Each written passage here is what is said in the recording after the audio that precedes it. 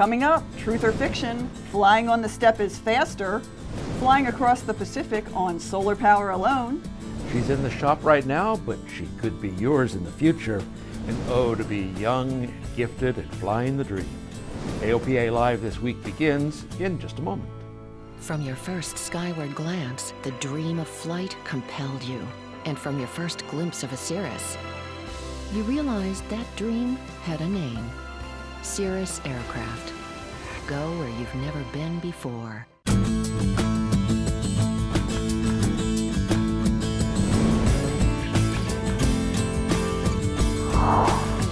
Well, is there a simple technique that can increase your cruise speed at no cost?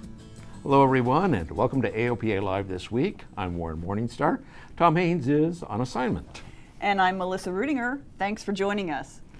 Aviation is full of wisdom and techniques handed down through the generations. Ideas of how to fly better that came from long ago that may or may not be true.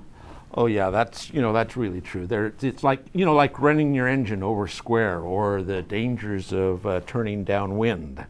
And another is the speed advantage uh, you can get by flying on the step. So is that a myth? AOPA's Dave Hirschman and Mike Felucci put it to the test. Among pilots, there's few better ways to start an argument than on the step.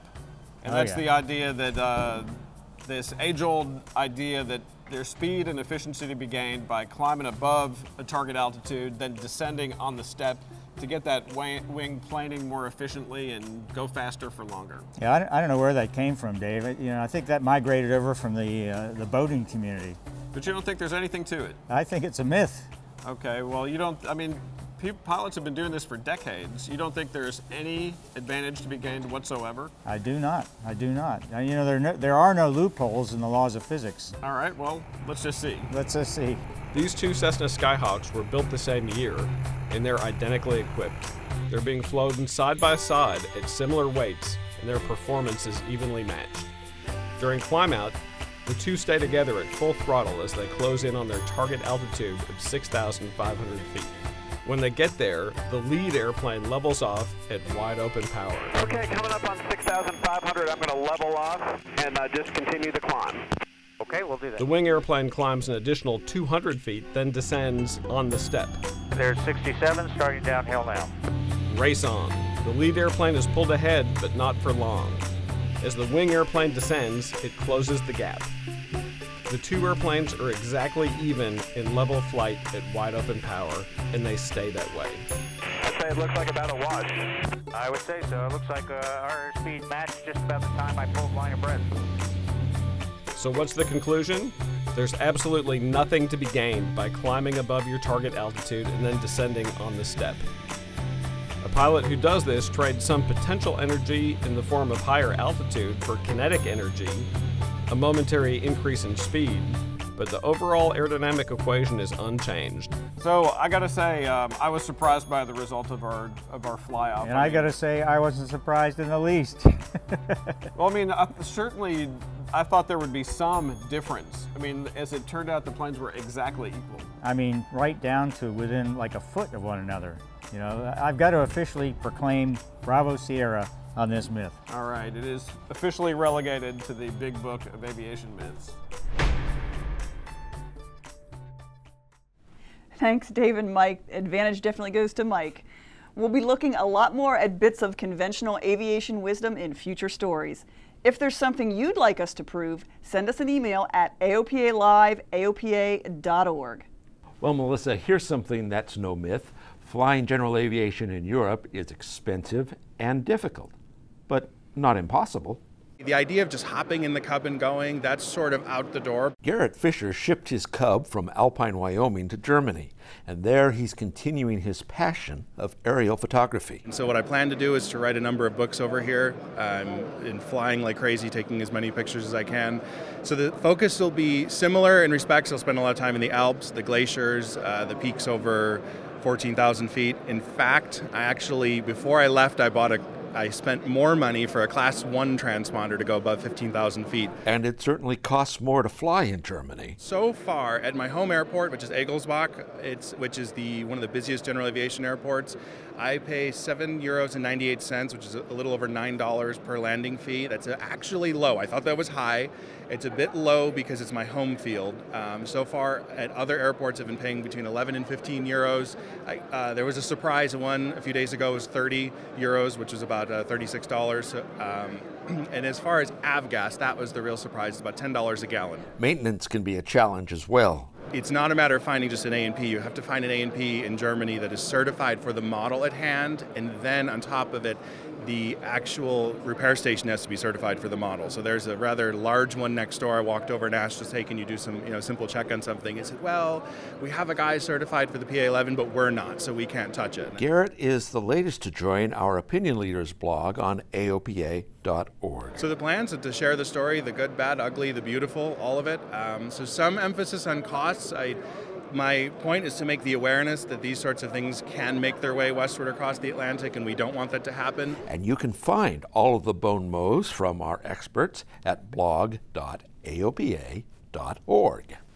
And you know, Melissa Garrett says that uh, flying in Europe is definitely worth it. He says it's something you should put on your bucket list. I've flown there once, and it, it certainly is. I agree. If owning an aircraft is on your bucket list, how about a really nice Cessna 172? And it could be yours for free. AOPA's next sweepstakes airplane will be a remanufactured 172.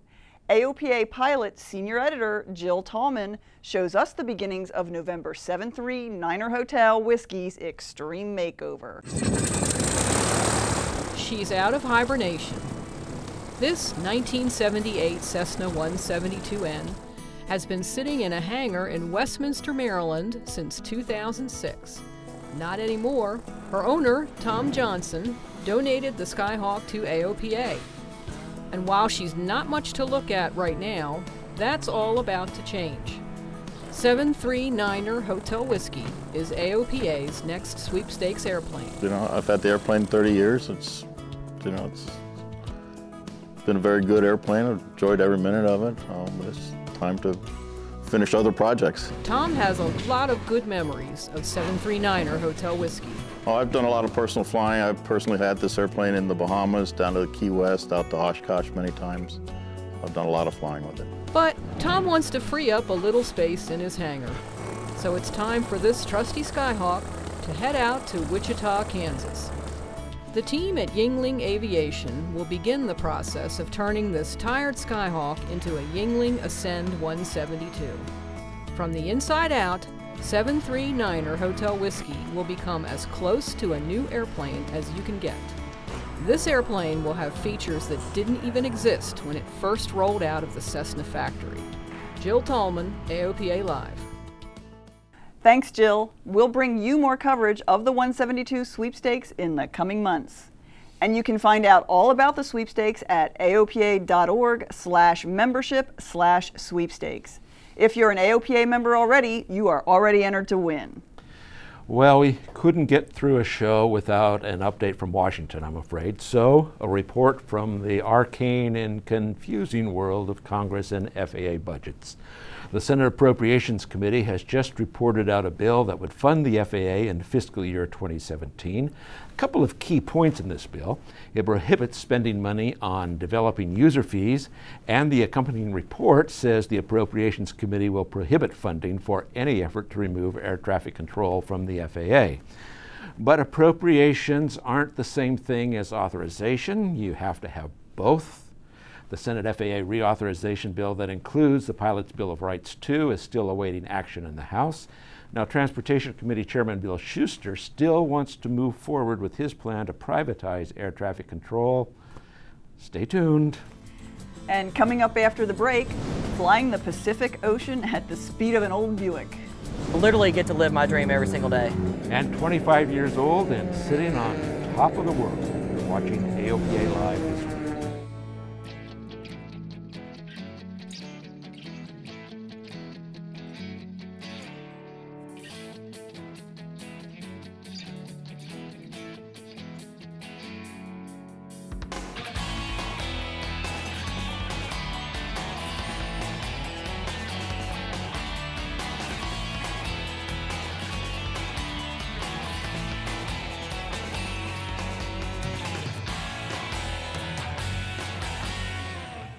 Welcome back. You're watching AOPA Live this week. Amelia Earhart flew from Hawaii to California in 18 hours. 81 years later, Bertrand Piccard did it in 62 and a half hours. But he did it without burning any fuel. Solar Impulse 2 landed in Mountain View, California on Sunday. The solar powered round the world trip will continue across the United States. Next stop, appropriately enough, is the Valley of the Sun, Phoenix, Arizona. While mo most often our flights end in celebration, sadly, there are times when they don't. Dr. Jonathan Sackier was about to participate in an NTSB forum on reducing GA accidents when he learned a dear friend had lost his life in an aircraft accident. To change behaviors necessitates changing beliefs. And yes, it can happen to you. It can happen to me. It happened to my friend. I dedicated my talk to my friend and I begged the NTSB faculty and audience to do everything we can to stop any other family going through this torment. You can watch Dr. Sackier's complete Fly Well report on AOPAlive.org. Scroll down to the Health Channel. A snowy day brought tough competition to the Red Bull Air Race in Spielberg, Austria.